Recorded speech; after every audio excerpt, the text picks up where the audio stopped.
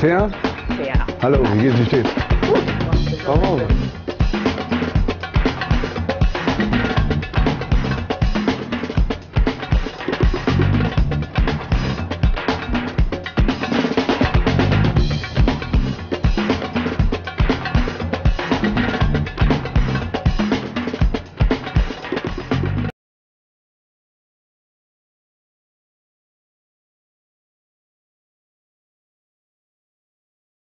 Warst schon mal in Istanbul, ne? Ja, vor zwölf Jahren. Das war aber irgendwie ziemlich ätzend. Ich hoffe, dass es heute besser wird. Was ist denn da passiert? Ich bin da mit einer frischen Liebe hin, die so frisch war, dass man noch nicht so richtig festgestellt hat, ob das eine gute oder eine dumme Idee ist. Wir merkten schon auf dem Hinflug, dass es eine dumme Idee ist. Und hatten uns eigentlich schon getrennt, als wir in Istanbul am Flughafen ankamen. Echt? Und dann war das nicht so lustig, eine Woche hier. Türke oder? Nee, nee. Ähm, aber der liebte Istanbul und war da noch nie. Dachte, ja, warum nicht? Mann, das tut mir leid. Ja, müssen wir besser machen heute. Ich bemühe mich. Ich, Wie oft bist du in Istanbul? Richtig regelmäßig oder? Ich war letzte Woche hier. Also, Ne? Also es hat damit zu tun, dass ich hier bald äh, arbeite wieder. drehst du gerade an was Neuem oder bereitest Ich bereite was vor und das soll losgehen im März. Ein Spielfilm oder ein Doku? Ein Spielfilm. Mhm. Und der spielt zum Teil äh, in Istanbul. Zum Teil auch in dem Hotel hier. Ja, das ist super schön. Kennst du das? Nee, Agatha Christie hat hier gewohnt. stimmt. Orient, das sieht so ein bisschen aus wie Mord im Orient Express. Also die äh, Legende sagt, dass sie Mord im Orient Express zum Teil hier geschrieben Mhm. haben soll. Ne? Und es spukt hier. Richtig? Es spukt hier. Wer? Weiß man das? Also ich habe hier mal ein Gesch also bei mir im Zimmer sind mal Gespenster vorbeigelaufen. Die haben mich total genervt nachts. ne? Also wo ich irgendwann meinte, ey, jetzt lass mich mal in Ruhe, jetzt lass mich mal schlafen. Und waren die so richtig weiß? Ich habe sie nicht so richtig gesehen, ich habe sie mehr so gehört und gespürt, statt sie zu sehen, weißt du? Das war vielleicht Agatha Christie.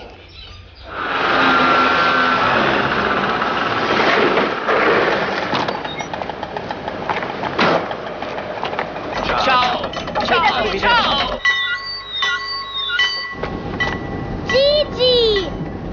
Ada!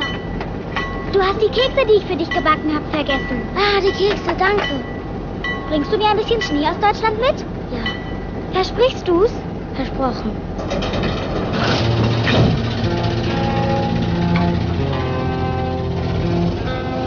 Hast du irgendwelche Thriller- oder Krimi-Filmpläne oder ist das nicht so richtig dein Genre? Es ist nicht so richtig mein Genre, ne? Also so vielleicht in Zukunft, ne? Also ich habe jetzt ich habe jetzt deine Bücher nicht gelesen, ne? Es war kein schöner Mord, aber ein echter.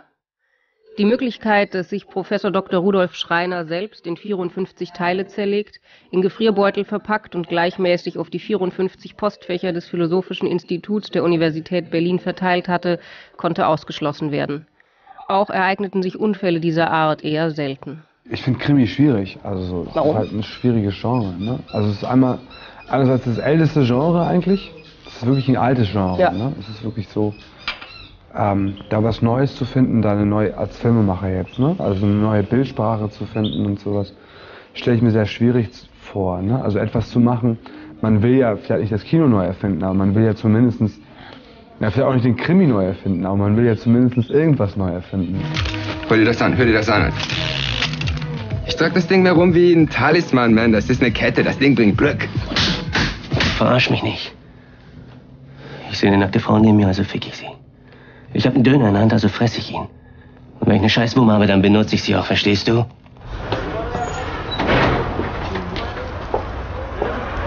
Wow, eine Limousine, Mann, Mann, Mann. Das ist ja ein Ding. Wow, die ist ja echt groß. Ja. Kann man sich längs und quer legen.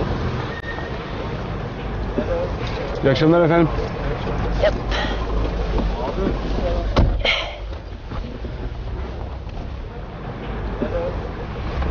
Super, super, super, super. Scheiße, die Penner wollen eine Flasche Wein. Ich hab keinen Wein jetzt.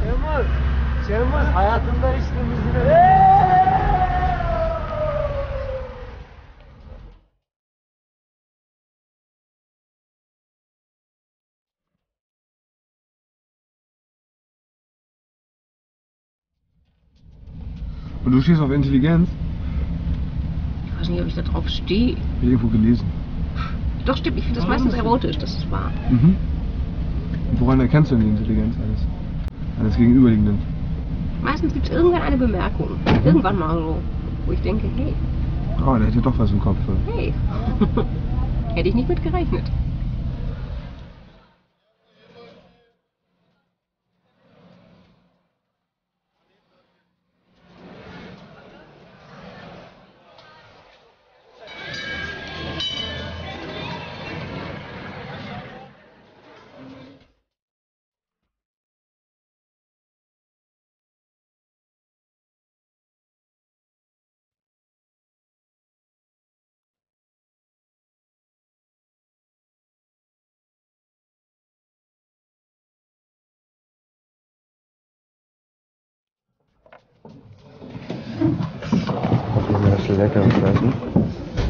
Von mir lief mal auf Türkisch. Echt? Ist ja geil.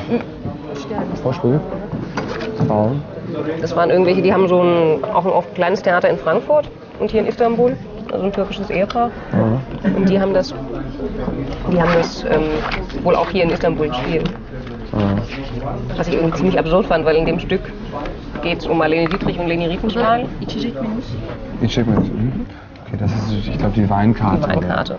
Milliarden, 55. Millionen. Und das hat mich total gewundert, dass so ein Thema, also das geht darum, dass Marlene Dietrich hat ja am Schluss total zurückgezogen in Paris gelebt.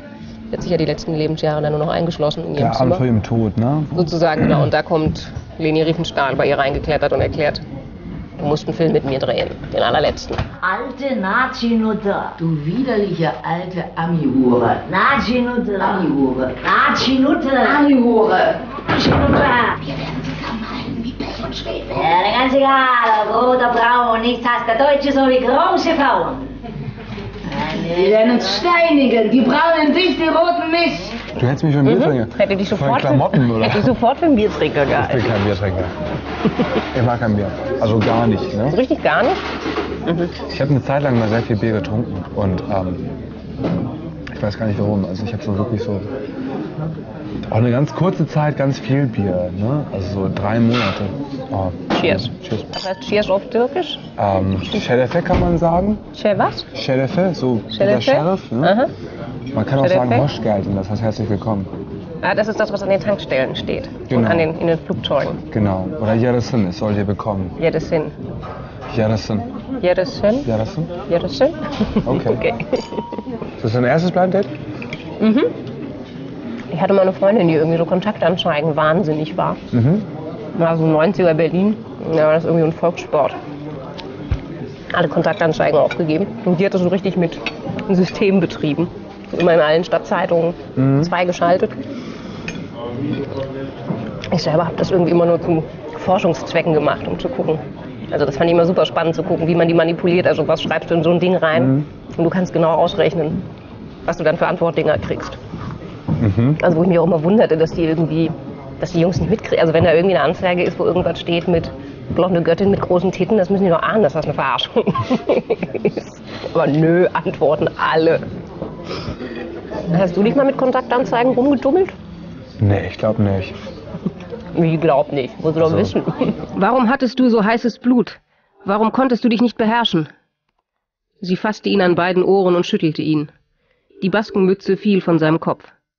Du hättest mich nicht anfassen dürfen. Hörst du? Warum hat dir dein Hirn nicht gesagt, dass du mich nicht anfassen darfst? Sie schlug mit der flachen Hand in die Blutlache, die sich am Boden der Schüssel gebildet hatte. Alles wäre so schön geworden, flüsterte sie, während ihr zum zweiten Mal an diesem Tag sein Blut übers Gesicht lief. Alles wäre so gut geworden. Ich hatte einmal eine, eine Anzeige. Das war meine einzige Anzeige, die ich jemals hatte im Leben. Von einer Verrückten, die mich. Also, die hatte der Polizei einen Brief geschrieben, der komplett wahnsinnig war. Also, in dem Brief stand irgendwie drin, ich hätte ihr Ozeanschellen geklaut. Ich hätte ihr das Hirn angebohrt und Du. und das war so ein richtiges Kafka-Erlebnis. Ich dachte, ich spinne. Und den Namen, das war eine Frau, den Namen kannte ich nicht. Dann habe ich irgendwie rumtelefoniert stundenlang. Und dann habe ich jemanden, also ich habe damals noch an der Uni unterrichtet. Und der sagte, ja, ja, er kennt die. Also wir hatten am Institut so eine Verrückte. Die hat früher mal Philosophie studiert und ist dann irgendwie richtig mit Paranoia und volles Programm irgendwie abgedreht. Aber nicht vom Studieren. Schon irgendwie. Und im Studium, die produzieren echt viele Verrückte. Also du, ich meine, du beschäftigst, also wenn du das wirklich ernsthaft machst, ich meine, Also gerade so einer, der weiß ich nicht, was Logik oder Erkenntnistheorie da so ein Krams macht, das sind Fragen, du kannst normalen Menschen überhaupt nicht erklären, wo der Punkt ist, worüber man redet. Und zwar ist es irgendwie noch schlimmer als, was weiß ich, irgendwie ein Astrophysiker versteht man auch nicht, was der treibt, aber es hat wenigstens noch mit irgendwas scheinbar Realem zu tun. Es ist echt eine Brutstätte von Wahnsinn. Ich bin mal bedroht worden. Von irgendeinem so einem Typen, der meine, meine Handynummer bekommen hat. Er hat mir immer SMS geschickt, ne? So, das ist so ein Typ, der halt irgendwie ein Drehbuch geschrieben hat und was mir halt schicken will und von wegen, die Zeit ist bald reif und la und endlich kommt es zur großen Zusammenkunft. Ich denke, wer ist er denn? Er irgendwann angefangen, meine Schauspieler zu beleidigen. Warum besetzt du nur Moritz Bleibtreu? Gib mir doch mal eine Chance. Da war ich echt sauer und habe eigentlich das gemacht, was man nicht hätte machen sollen. Und den geantwortet. Das ist aber, glaube ich, echt totaler Fehler. Aber ich war echt sauer. Es war auch hier in Istanbul. Ne? Und Ich krieg diese SMS aus Deutschland und hatte schlechte Laune.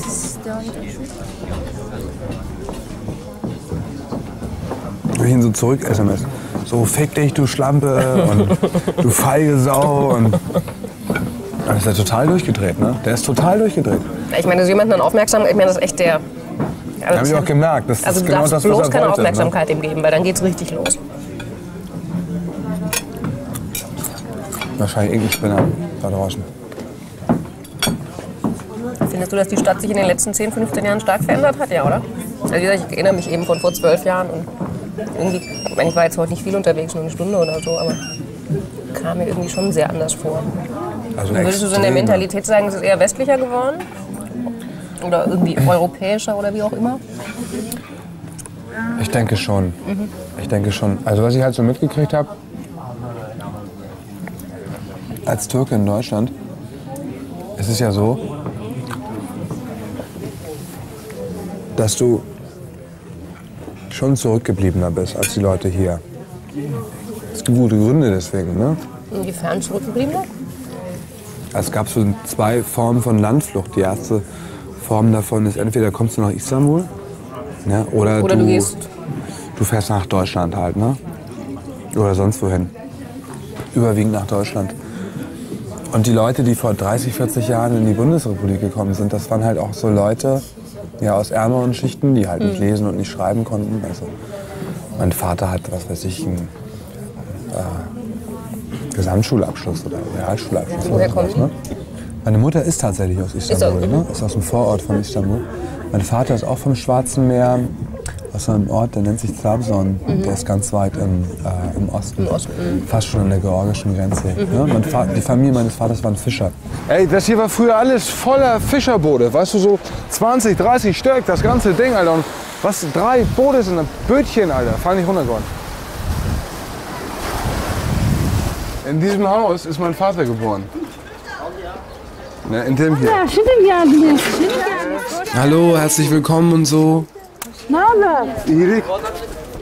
Siehst ja genauso aus wie dein Vater.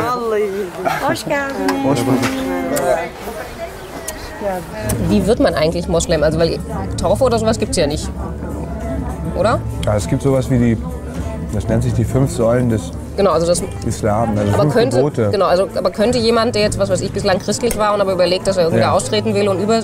Also der bräuchte Ohne keinen, keinen irgendwie zeremoniell, mit dem er aufgenommen wird, sondern der kann beschließen, dass wenn er diese Gebete Er kann und es für also sich individuell beschließen. Da brauchst du keine zweite oder dritte für. Mhm. Das ist nicht so wie bei ja, bei allen anderen Religionen. Judentum oder Christentum, braucht es ja das Einstiegszeremoniell. Aber das ist ja, glaube ich, auch vielleicht ein Problem, finde ich, an der Religion, dass es eine ist, die, also die muss man ja im Grunde beweisen. Also ich meine, irgendeiner bei uns hat katholisch im Pass stehen und der war irgendwie vor 30 Jahren das letzte Mal in der Kirche. Es ist eine wunderbare Form, andere Menschen zu manipulieren und andere Menschen zu äh, kontrollieren, der Islam. Ne? Es ist Mhm. Ja, eine klar. politische Waffe letztendlich. Ne? Du kannst so die Massen mobilisieren. Ne? Und Ja, wenn eine irgendjemand von dem System abweicht und auch nur so ein Stück abweicht, Zack, ist ketzerisch. ja. Ne? Nun trinke ich Alkohol und, ähm, und ähm, keine Ahnung, habe den Lifestyle, den ich fahre. Dennoch definiere ich mich selbst als Moslem. Ja? Also so, weil ich ein spiritueller Mensch bin. Weißt du? Weil ich, ähm, weil es für mich ein Trost ist, dran zu glauben. Ne?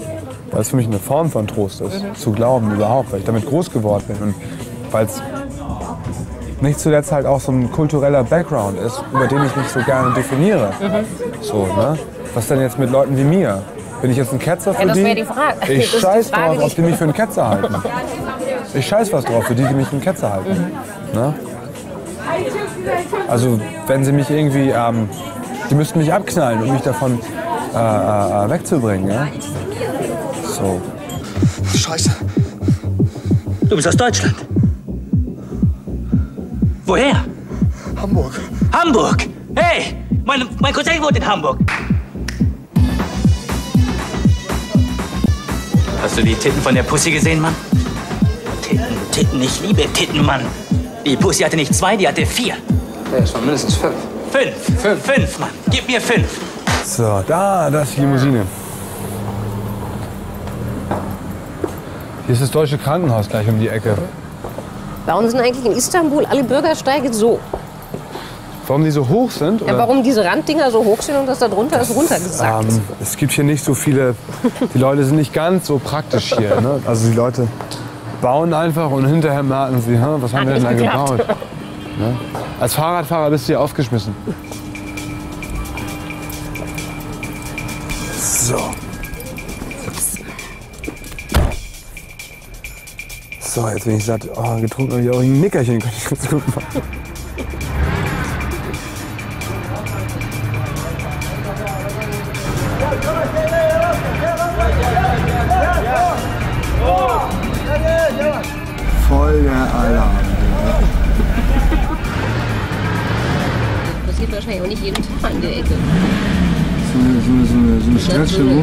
Karosse nicht um die Kurve kommt.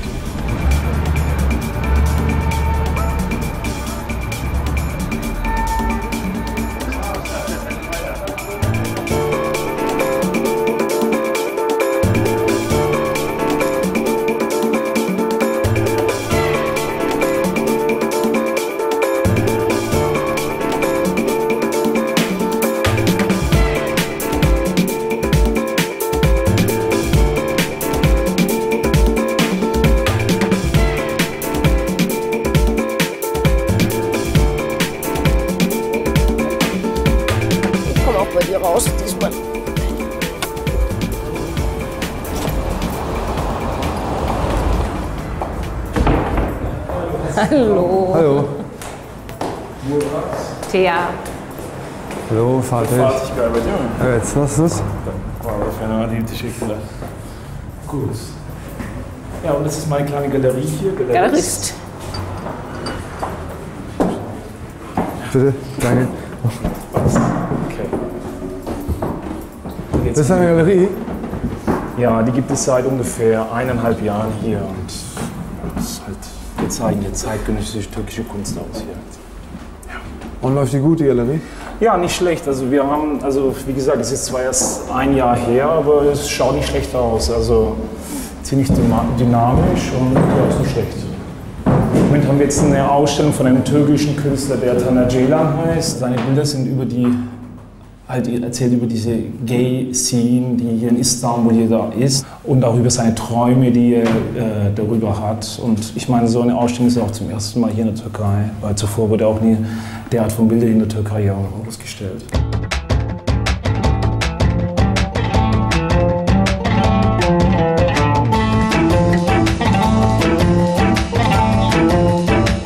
Die sind alle beschnitten. Wie denn? Die sind alle beschnitten. Die sind alle beschnitten, sage ich. Ja, ich meine es auch. Was hat mit Istanbul zu tun? Ja, wenn es über türkische Jungs ist. Okay. Ja.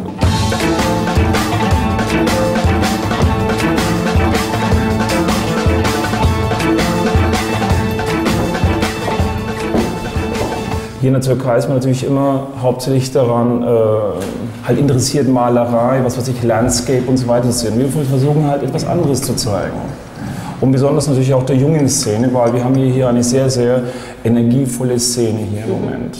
Die Jugend von 30, 31, das ist hauptsächlich eine Jugend, die auch im Ausland studiert hat, weiß, was alles passiert im Ausland und die wollen einfach was Neues sehen, was anderes sehen, was sehen, was ihnen auch angehört. Tanner hat vorher auch versucht, äh, seine Arbeiten in anderen Galerien zu zeigen, hier in Istanbul oder in, in, äh, in, in was weiß ich, also in in Ausstellungsräumen, die man mieten kann, aber keiner hat das in der Zeit auch irgendwie erlaubt. Was kostet denn so ein Bild? Ja, das, das ändert sich halt vom, also vom Das Glas Wasser? Aus, vom, ja, das Glaswasser kostet äh, 2700 Dollar. 2700? Ja, also die, die Preislage ist zwischen 1600 und 4000. Gab es hier Ärger in Istanbul? Also in Berlin wäre so eine Ausstellung. Also ehrlich gesagt, ich kann das jetzt schwer beurteilen, weil wir hatten das am Donnerstag. Also im Moment noch nichts, weil wir haben eigentlich die Ausstellung, also die Eröffnung war erst am Donnerstag Mhm. und danach war ich also zwei, drei Tage nicht hier in Istanbul, aber was ich, also bis jetzt habe ich noch nichts gehört, aber das Mhm. wird, kommt dann wieder Zeit. Hab noch ne? keine Drohbriefe Also bis im Moment noch nicht.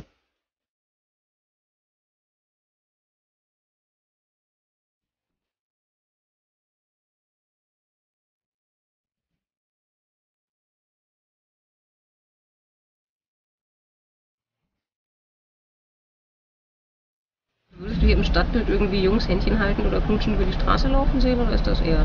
eher Habe ich hier auch schon gesehen. Ja? Habe ich hier auch schon gesehen. Es Mhm. gibt auch eine recht ähm, ja, öffentlich präsente Transvestiten-Szene hier. Mhm. Ja, die gibt's hier. Ne? Also die Leute wissen, dass das gibt. Aber es gab, ich habe irgendwann mal gelesen oder gehört, es gab schon immer, selbst schon im Osmanischen Reich, ne, so einen Hang zum Transvest. Äh, ja. Hier äh, ja, im Osmanischen Reich halt. Das hat damit so mit Verkleiden zu tun und sowas, weißt du? Ähm, Ja, das ist wahrscheinlich ja sogar letzten Endes noch mal eins harmloser, als wenn das Jungs sind, die ganz normal aussehen. Ja. Und trotzdem schwul. ja. Das ist wahrscheinlich irgendwie. Also so, ich glaube, das Schwulsein hier wird sich, definiert sich hier mehr so über so ein, ich glaube es, ich bin nicht richtig drin hier in der Szene, ne? ich kenne das nicht so richtig, aber ich glaube, es ist so mehr, wenn du so zum, zum Beispiel hast du es in Deutschland, ist so die Schwulenszene so mehr so männlich definiert, ne? man ist ein Mann und hat, man hat Bock auf einen anderen Mann, man hat Bock auf einen Mann, weißt du, und hier ist es so, die Schwulenszene, dass sie oft so sehr, äh, ich sag mal, weibisch daherkommen. Ich habe einen Cousin, der wird halt so Mädchen-Mehmet genannt. Na, weil er ganz weibisch ist halt so, ne? Der ist mit Sicherheit irgendwo schwul oder er ist ein Transi. Mhm. Ne? Also er ist halt eine Frau im Körper eines Mannes. Und der wohnt in so einem Dorf in Anatolien, ne? ne? Und ähm, klar machen sich die Leute darüber lustig und so. Aber gleichzeitig hat auch so eine Akzeptanz. Da ist halt Mädchen Mehmet so, ne? Und da ist halt so, und man erklärt sich das so, weil Ja, er aber wahrscheinlich halt bis zu dem Punkt, wo der das aber auch nicht weiter auslebt.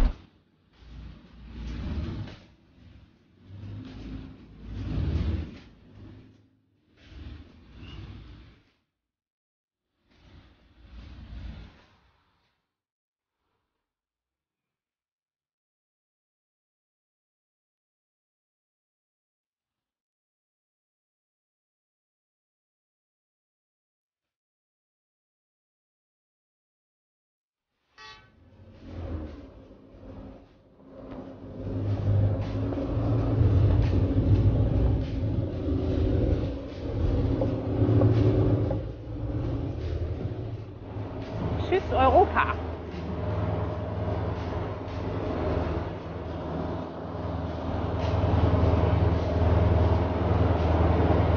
Ich reise ganz gerne. Reist du gerne?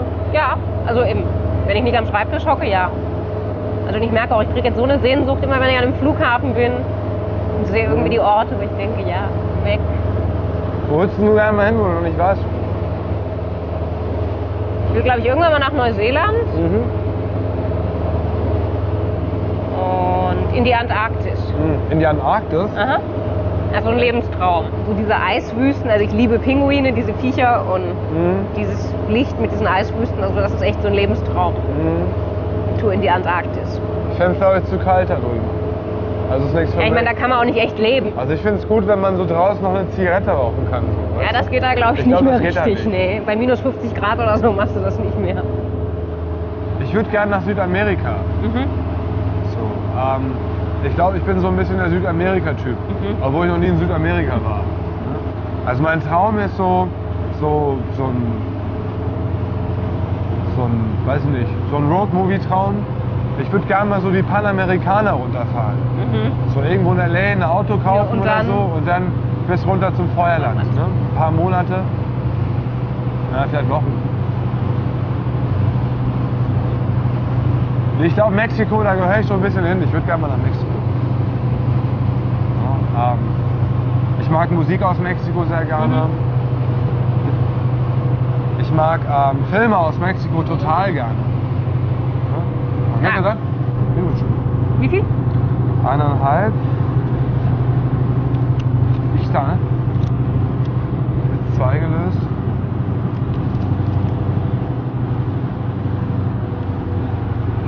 War das für beide jetzt oder? Ja. Ja. Ich lade dich auf eine Bosporus-Tournee. Hey.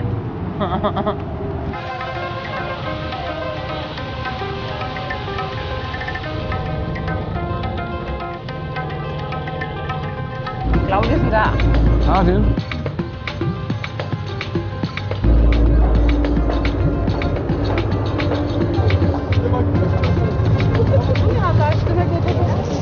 Also am besten gehe ich hier drüben. Ich hatte hier mal was. Ich hatte hier mal was mit einer Frau. Das ist aber ewig her, ne? Aber das ging, das war halt keine glückliche Beziehung, weil, äh, weil ich in Deutschland lebe und sie hier und man ist halt irgendwie 18 und so. Das ist alles kein Zweck. Halt Eine Sommerliebe. Eine Sommerliebe, die ein bisschen länger ging als der Sommer. Mhm. Kaum wechselte die Jahreszeit, war halt auch die Beziehung durch.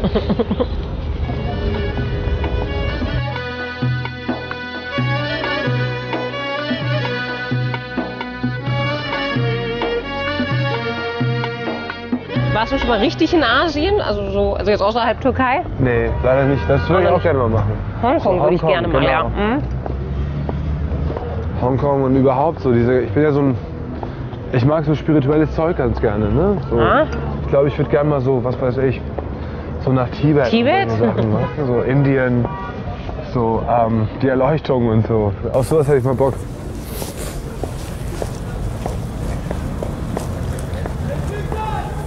Nee, das weiteste, die ich in Asien, das, der tiefste asiatischste Punkt, wo ich war, das ist irgendwie so ein türkischer Ort, der sich Sivas nennt. Mhm. Da war ich dieses Jahr. Das ist dann schon Ostanatolien, oder? Das ist so im Ostanatolien, das ist schon fast Kurdistan. Mhm. Zwar war ich da mit der Freundin von einem guten Freund von mir und die hat Neurodermitis. Und die musst du da klimatechnisch hin, oder? Da gibt es irgendeinen komischen See, ne, so eine Quelle. Also da was wie das Tote Meer oder so, oder? Weil eigentlich Ja, sind da so gibt's Fische. Fische. Da gibt es ganz seltsame Fische. Und Fische gegen Neurodermitis. Die essen das auf. Die essen. Äh. Das ist Wahnsinn. Das gibt es nur da in der Welt. Ne? Das sind halt so drei verschiedene. Also ah, was finde ich ja eklig. Ja, ich, Ich meine, Hirne. Hirne in Einmachgläsern ist okay, aber Fische, die Neurodermitis fressen? Ich habe mich in so ein Becken reingelegt. Oha. Und die haben dann an, meinen, an den Pickeln an meinem Rücken rumgeknabbert. Ne? Und die sind weggegangen. Ne? Die Pickel oder die. Fische? Ne? Nee, nee, die Pickel. Die Pickel.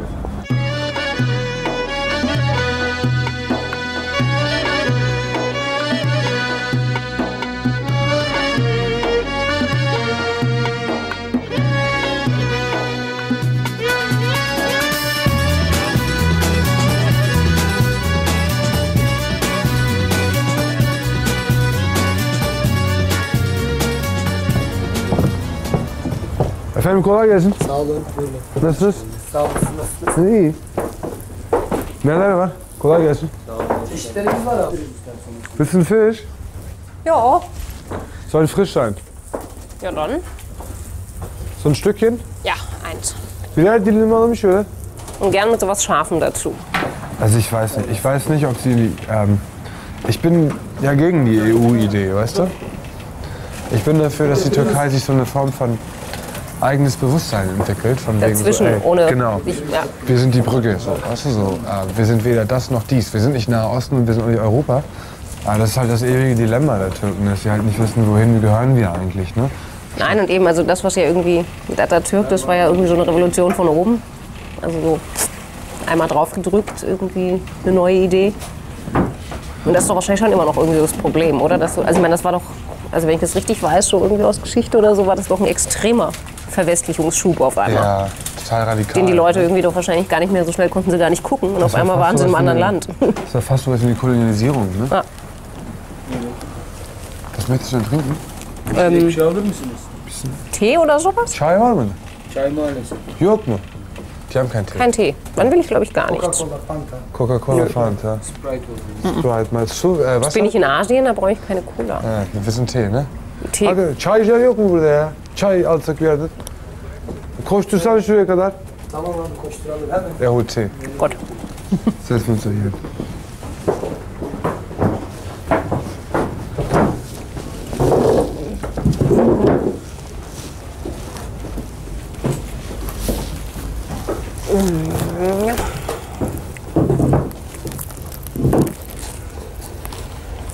hier. vielleicht ist das auch so ein Neurodermitis-Fisch. Wer weiß, was der alles gefressen hat. Der reinigt von innen, sagst du, oder? Schwein. Was ist scharf? Ich mag Schaf ja ganz gerne, aber es Ja, eben. Nee. ist los. Oh Mann.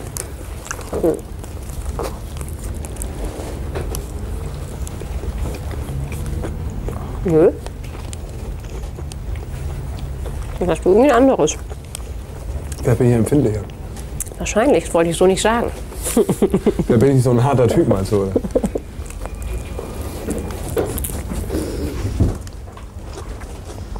Seit dieser ganzen Diskussion, ja, so EU oder nicht EU, definiere ich mich neuerdings auch nicht mehr als Europäer. Kein Bock mehr Sondern als was? Asiate. So aus den äh, Steppen Kasachstans und so, weißt du? Reitervolk mäßig. Bist du schon mal auf dem Pferd gestiegen? Pony. Zählt nicht. Willst du in Deutschland bleiben, so richtig leben und so? Für immer und ewig? Weiß ich nicht. Also ich glaube schon, also weil das Problem ist schon, wenn man, also ich merke das, wenn ich länger im Ausland bin, also ich habe eben an einem Theaterstück in New York gearbeitet und so nach einer Woche, zehn Tagen merke ich, wie das Deutsche einem so wegflutscht. Also ich glaube, gerade wenn man einen Roman oder sowas schreibt, das ist schon verdammt schwer. Wenn man dann in einem Land ist mit einer anderen Sprache. Ich kann mir noch vorstellen, so ein Haus in der Bretagne zum Arbeiten und irgendein nettes kleines Apartment in Chelsea, in New York.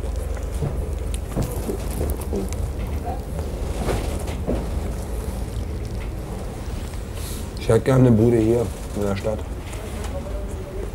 Weil ich doch recht viel hier zu tun habe. Kannst du da nicht irgendwie mit Verwandten so einen Deal machen?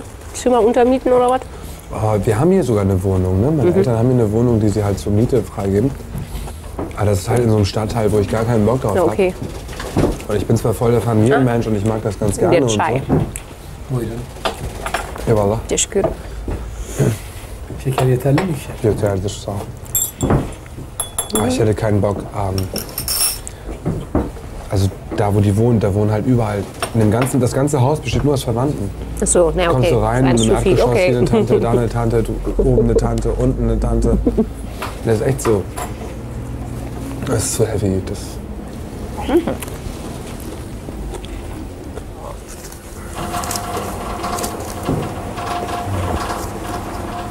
Guck mal, ich will jetzt eine Filmproduktion gründen. Ich muss noch ein paar Millionen als Eigenmittel reinstecken. Ich brauch Und das jetzt mit so einem 20 Einerkurs. Irgendwie sieht es so schön aus. Sehr macho-mäßig, ne? Nein, diese Ne? Bündel. Batzen Geld. Komm, ich lade dich ein. Drei, vier und dann gibst du mir einfach dein Geld, bevor du noch. Fünf, Da habe ich ja gar nicht. sechs.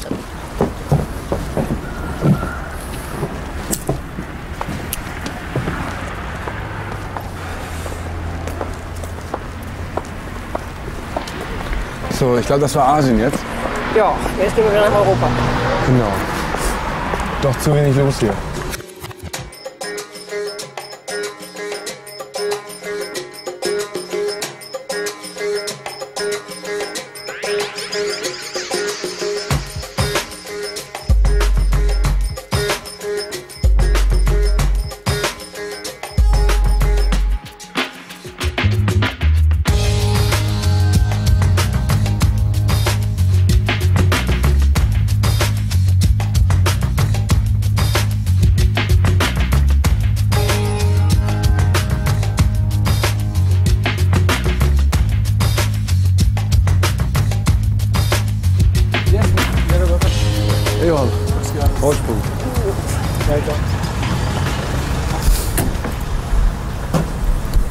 War hier schon mal.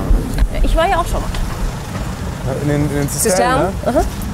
Ah, ist ewig her, das ist zehn Jahre her oder so.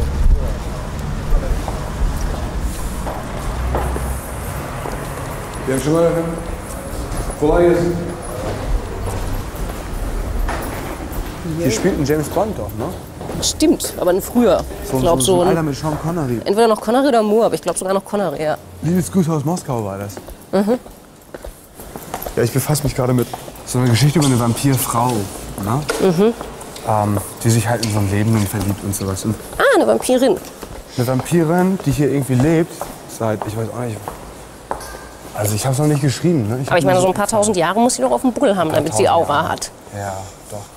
Ich meine, das ist ja auch kein schlechter Ort hier für Vampire über den Tag. Absolut.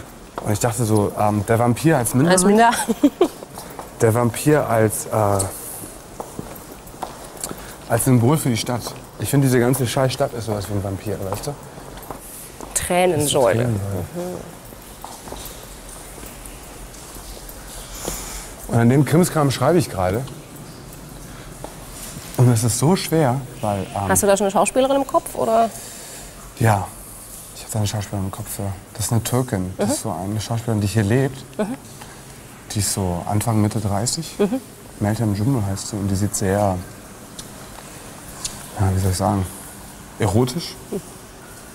Also erotisierend, gefährlich auch. Muss eine Vampirin sein. Ja, also ich würde gerne was mit so femme fatale machen, weißt du? Also ich habe zu wenig, ich habe nicht so richtig so den femme fatale Drive in meinen? Frauenfiguren, weißt du? Das würde ich gerne auf die Reihe kriegen. Und es ist super schwierig zu schreiben. Und weißt du schon, wie es ausgeht? Ich dachte, ich mache sowas. So, das ist so ein Typ, er jetzt, ne? Der hat eine Frau zu Hause und hat vielleicht ein Kind oder zwei und der hat so eine Sicherheit zu Hause. Also so ne? eine ganz normale kleine, so ein kleines Leben. Ja, und diese Frau ist. Er trifft dann halt so eine Frau, sieht sie halt so Macht die so, irgendwas im Leben oder hat die Geld einfach so von Jahrtausenden?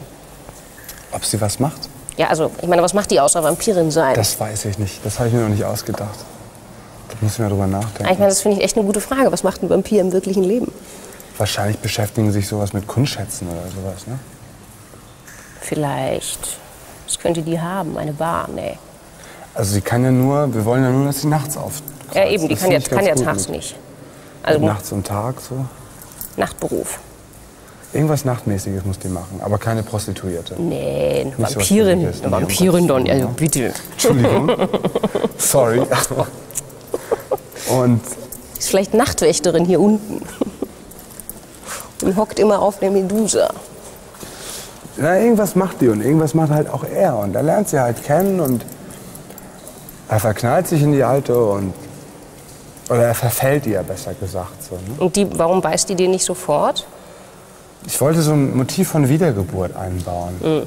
Ne? Also wenn jemand 2000 Jahre alt ist ne? und es gibt wirklich dieses Ding von Wiedergeburt, weißt du? Dann kann es ja vielleicht sein, also wenn es wirklich die Wiedergeburt gibt, dass sie ihm in einem vorherigen Leben schon mal begegnet, Begegnet ist. ist. Mhm. Weißt du? Und vielleicht waren sie mal verheiratet, vielleicht standen sie sich nah, ich weiß es noch nicht. Mhm. Ne? Also ich bin noch recht am Anfang, weißt du? Ich dachte, sie hat natürlich einen Clan, eine Mhm. Familie, ne? also so eine, so eine, so eine Ordensschaft oder sowas. Vampir mit türkischer Familie? Vielleicht kann es noch was Älteres sein, was Christliches, was Armenisches. Ich habe keine Ahnung. Du? Stell dir mal vor, deine Familie wirst du nie los. Oh Gott, eine ewige Familie. Ja, aber das deckt sich halt so ganz gut mit diesen Minderheiten, weil Minderheiten haben ja oft dieses Problem. Das, klar, dass die nach innen zusammenrücken. Genau, also du musst halt auch, wenn du dich vermählst, wenn es überhaupt sowas wie Vermählung gibt, du, das weiß ich noch nicht, Hm. dann halt mit einem von unserem Orden oder Hm. sowas, ne? oder einem von unserem Hm. Stamm oder äh, unserem Geschlecht, keine Ahnung. Ne? Und dann kommt halt irgendwie so ein Sterblicher daher. Ne? Hm. Und dann dachte ich halt so, ganz am Ende, naja, vielleicht, ich weiß es noch nicht genau, ich weiß es wirklich noch nicht genau, das Ende ist immer schwierig, dass sie ihn vielleicht so sehr liebt, nicht begehrt, sondern liebt, dass sie sich wirklich in ihn verliebt, dass sie sagt so, ey, nee, ich will, ich will ihn nicht zu dem machen, was ich bin, ja. Und dann lässt sie ihn halt gehen, ja. Und sie sagt sich dann, ich will dann halt auch ohne ihn nicht leben. Ne? Mhm. Und dann macht sie halt so ein Suizidding. Ne? Geht in die Sonne oder so. sie sitzt halt so am Strand. Strand und die Sonne und geht die auf. Sonne geht auf und sie fängt an zu brennen. Ich dachte halt sowas in der Richtung. Das sind Mhm. halt nur so Stichworte, Punkte, die ich da aufgeschrieben habe. Was machst du jetzt gerade? Woran Ich arbeitest sitze an einem neuen Roman, also wo ich so versuche, ähm, also es geht auch eher weg vom Krimi. Jetzt eher so, ich habe meine Leidenschaft für so die richtig schweren antiken Aufstieg und Fall, so eine richtige Tragödie. Aufstieg und Fall? Also jemand, der irgendwie ein relativ eitler, narzisstischer Mensch ist. Mhm. Ein Mann oder eine Frau? Eine Frau. Also Frau. gibt irgendwie, glaube ich, keine echten tragischen Romane mit einer Frau als Hauptfigur. Das wollte ich mal probieren, ob das geht. Und ja, also eine, die eben relativ hoch steigt im Leben und dann sagen, eine wahnsinnige Verlust natürlich davor hat, zu stürzen, zu fallen. Mhm. Und je schlimmer dieser Albtraum für sie wird, desto mehr rennt sie da rein. Also eben wirklich so wie die antiken Tragödien. Also Mhm. du hast so deinen zentralen Albtraum im Leben, so wie, was weiß ich, eben Ödipus mit dem Albtraum, dass er seinen Vater umbringen würde mit seiner Mutter vögeln. Mhm. Und je mehr er versucht, diesem Albtraum wegzurennen und alles zu tun, damit es nicht passiert, umso mehr rennt er voll rein. Mhm. Also so eine Geschichte. Mhm. Weil ich finde das eine. Ja, also ich habe irgendwie ziemlich viele amerikanische Romane in letzter Zeit gelesen. Ich weiß nicht, ob du Fegefeuer der Eitelkeiten kennst. Mhm, also der Wolfe. Film ist leider scheiße, aber der Roman ist richtig gut. Und dann dachte ich, das müssen wir mal ausprobieren. Und ähm, Vorsicht mit äh, Besuchen, ne? das ist echt heftig hier. Ups. Ich bin so frei, ja? Ich Ja, ja. vers- Versuch dich festzuhalten. Also ich meine, es ist irgendwie gut, dass ich das alles in Büchern schreibe. Dann kann ich im echten Leben ein ganz harmloser Mensch sein. Bist du ein harmloser Mensch? Das werden wir feststellen.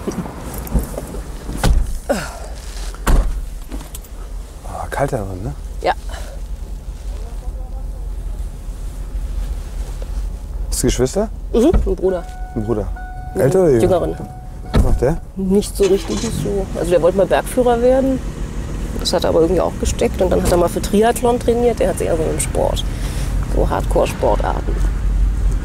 Ich weiß gar nicht, ich glaube im Augenblick guckt er in Frankreich und übersetzt irgendwie Sachen für französische Bergsteigermagazine.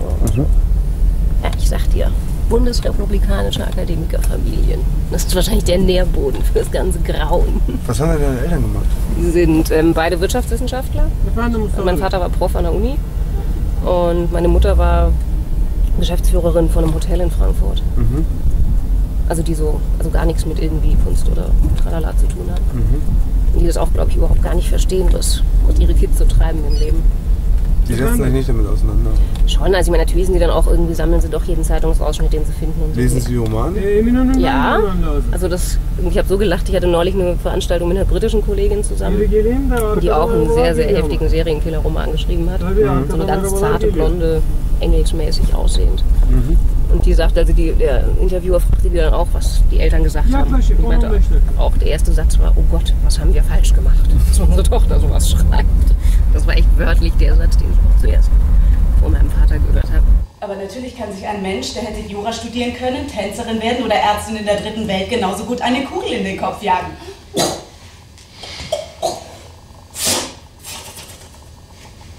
Do yourself a favor and shoot yourself.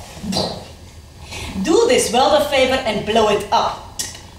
Meine Eltern hatten so die Idee, ich soll Jura studieren und Anwältin werden oder Staatsanwältin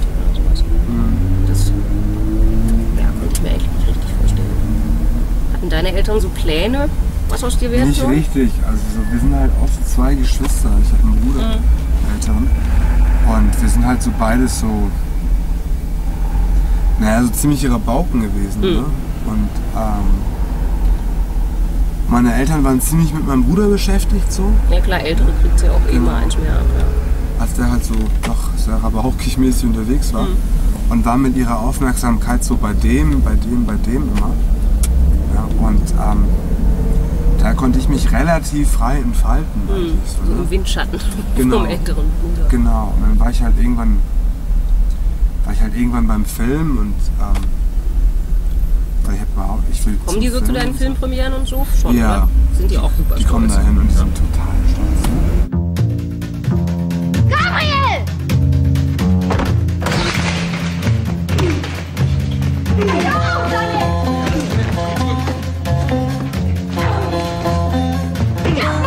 Gut jetzt, ja? Nichts ist gut.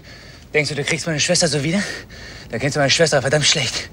Sowas tut man nicht. Ich hau einem Typen auf die Fresse, der mir nichts getan hat, verstehst du? Fick doch ins Knie, ich geh nach Hause, ich will schlafen. Was ist denn los mit ihm?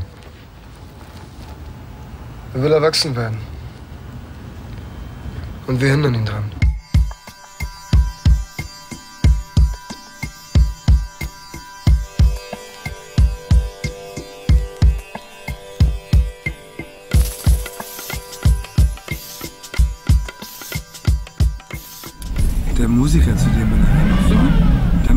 Macht die Musik zu meinem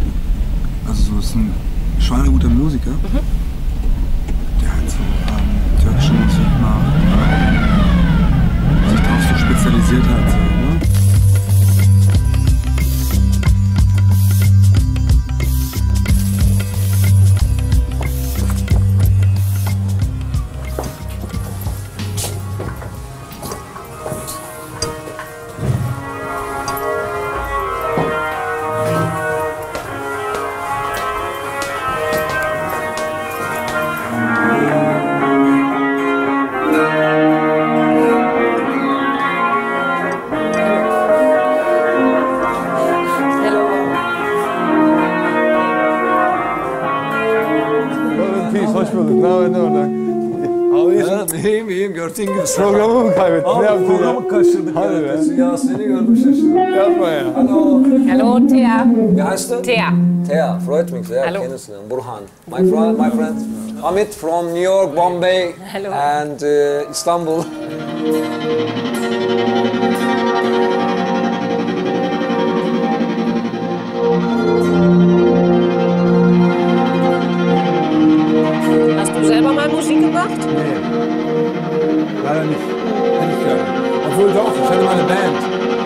Aber ich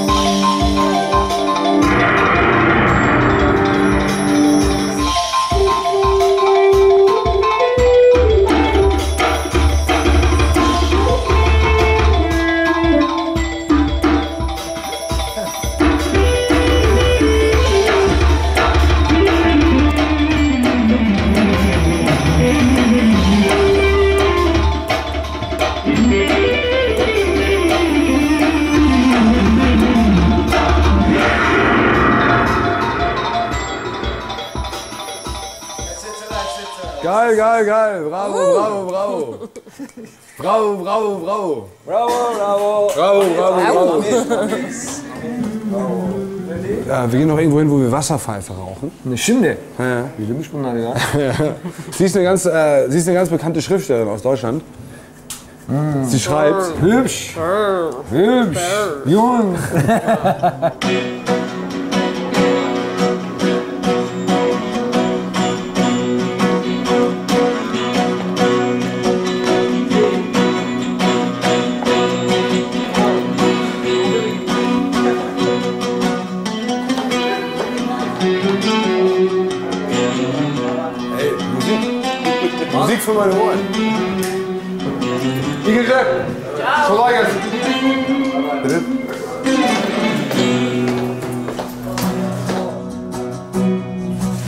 Habe ich etwas vom Wolf, finde ich. Vom Wolf? Er hat so was Wolfmäßiges.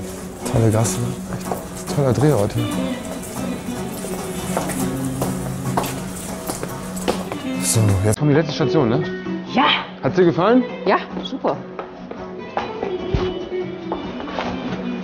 Da beneide ich Musiker immer, dass die irgendwie nicht in ihrem scheiß Land kleben. Ja. Weil das kannst du echt überall machen.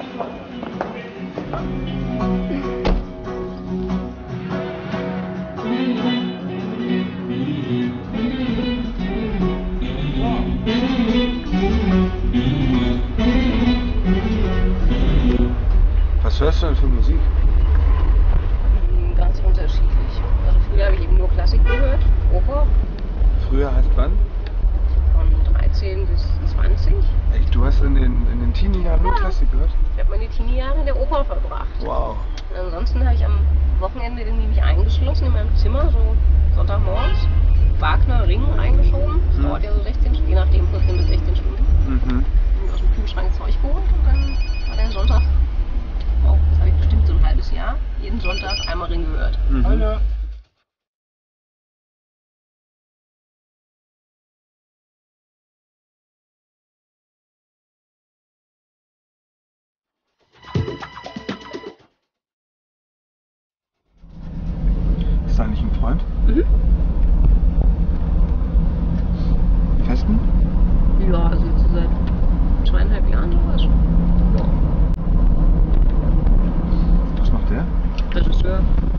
Regisseur? Mhm.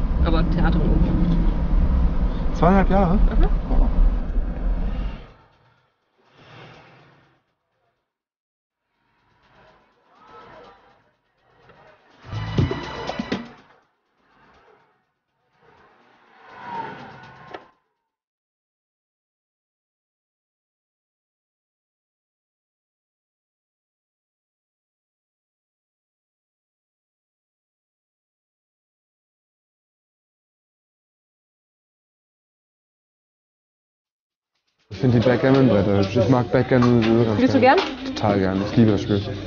Irgendwann mal gefällt mir nur Backgammon. Weil es ist wie das Leben Backgammon, weißt du, so. Ich bin da gar nicht bei diesen ganzen Dingern, auch diese ganzen Strategiespiele, die ich irgendwie nicht gut. Aber Backgammon finde ich geil, weil es halt so eine geile Mischung aus Glücksspiel und Strategie ist. ist. Mikado bin ich gut. Die Ka- Ja, das ist ja Geschicklichkeit. Ne? Ja. Wobei eigentlich als Drehbuch-Krimi-Autor müsste man diese Strategiedinger, also eigentlich müsste ich gut Schach spielen können. Kann ich aber nicht. Die Schach kann ich leider auch nicht so gut spielen. Mühle ist eine totale Katastrophe. Backgammon. Solltest du mal echt lernen. Backgammon ist total geil. Es macht so süchtig. Es macht so süchtig. Es ist wie das Leben. Also für den Wurf kannst du nichts, ne? Und da musst So. du das Beste mitmachen. Genau. Es ist wie das Leben. Ich glaube.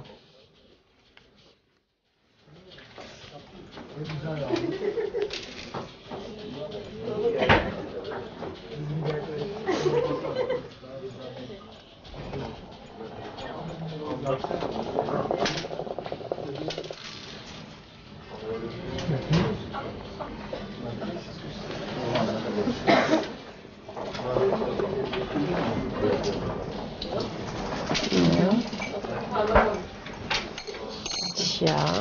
Gibt es da noch irgendwie so ein Mundstück? Das macht es doch bestimmt einfacher. Rosa ist für die Mädels. Ich habe früher mal Oboe gespielt. Wahrscheinlich so ähnlich.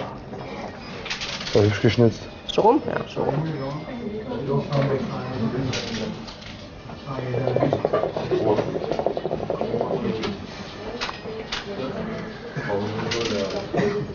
Bisschen wie angebrannter Kaugummi. Mhm. Als Kinder hatten wir immer diese Mhm. dicken grünen, wie hießen die Huba Buba oder so ähnlich. Mhm.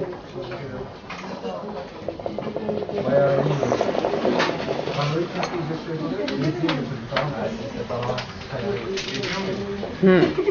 Bisschen wie Kindergeburtstag. So schmeckt das? Ja. Ich finde. Huba Buba. Huba Buba, oder? Eindeutig. Huba Buba kommt Ein lange verlorener Geschmack. Es gibt ein Wort ähm, auf Türkisch, das heißt Cave. Das heißt auf Italienisch Dolce fa niente. Niente? Ja, also das heißt da sitzen, den Tag den Tag sein lassen. Genau. Wo weißt du das? Geheimwissen. Ah ja. Das, ich finde so Chill kommt denen so nah. Mhm. Ne? Ich finde so ein Chill-Laden so. Weißt du, so. Leute kommen hierher und, und machen Nein, das ich ein schönes Wort. Kajef leuchtet mir ein.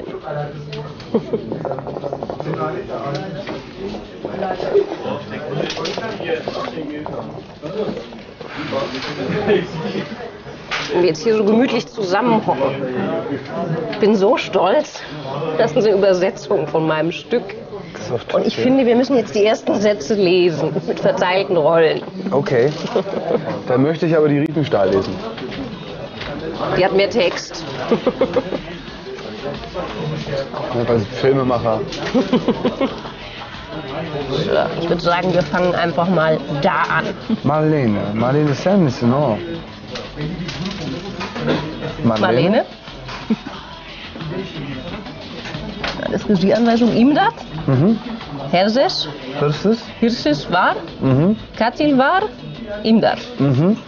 Aber bak benim. Ben, Leni. Ben Leni, ich kenne ja wie Ben Hur, was heißt Mhm. Ben? Ben heißt ähm, ich. Ich. Na? Ben heißt ich. Ah. Ich beziehungsweise ich bin's. Ah. Mhm. Sau. Also in diesem Zusammenhang heißt es Mhm. ich bin's. Stimmt das? Hast es Ja, ja, ist wörtliche Übersetzung, ich bin's. Sind wir nicht das ideale Paar? Frankenstein und sein Monster werden von Heider blass.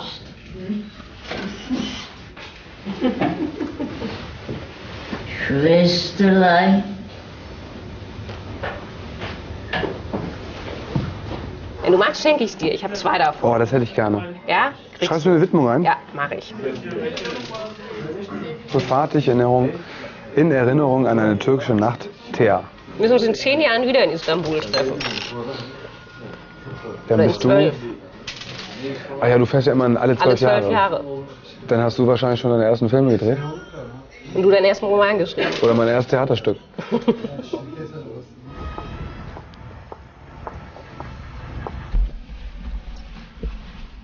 Alright. Ja. Schlag ein. Wer hat's geschafft?